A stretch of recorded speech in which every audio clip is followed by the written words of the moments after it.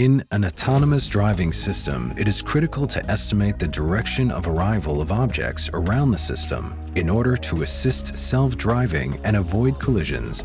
These directions are estimated using an array of antennas.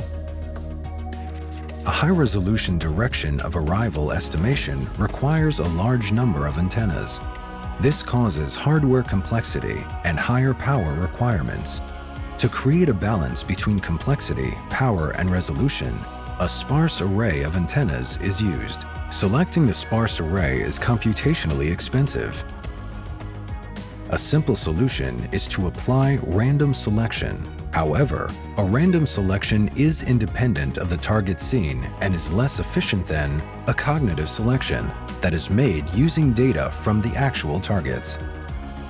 In this demo, we present a fast-learning sparse array for automotive radar. In our system, which operates at 5 GHz, the sparse array selection is 10 times faster than the standard selection, it changes according to the target's positions, and it yields a 2 to 3 dB lower error compared to random selection. In our method, we define a time frame in which the targets do not change their position significantly. The first scan within the time frame is made using the full array of antennas. Then, a trained convolutional neural network, or CNN, analyzes the signals received and determines the optimal sparse array to be used in the following scans. While in the existing deep sparse approach, the training data is generated through the exhaustive search. Our new training method is computationally efficient and scalable to large arrays.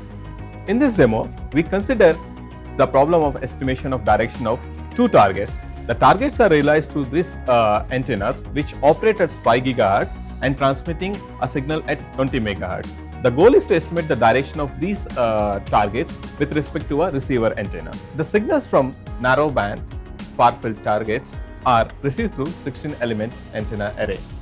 Once the signals from 16 channel elements are received, they are taken to a RXN which consists of FPGA that has a down converters as well as analog to digital conversion.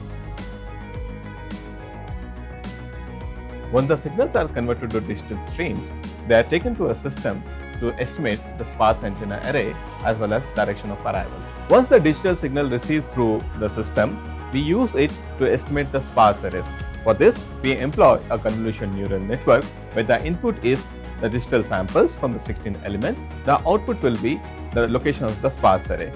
In this selection, the location of the sparse array depends on the present direction of arrival which enables cognitive sparse selections.